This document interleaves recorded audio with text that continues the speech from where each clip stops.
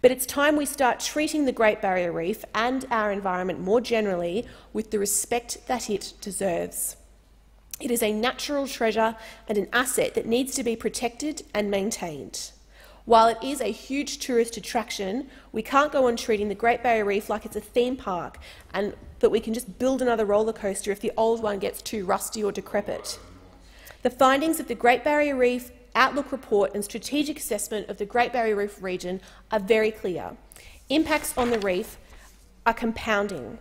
Over the past three decades, the Great Barrier Reef has lost half its coral cover and global warming has caused horrific coral bleaching.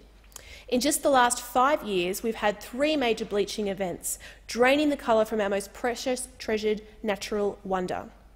If we continue on this trajectory, at 1.5 uh, degrees global warming, reefs are expected to decline by 70 to 90 per cent, while at 2 degrees of global warming, this loss becomes 99 per cent.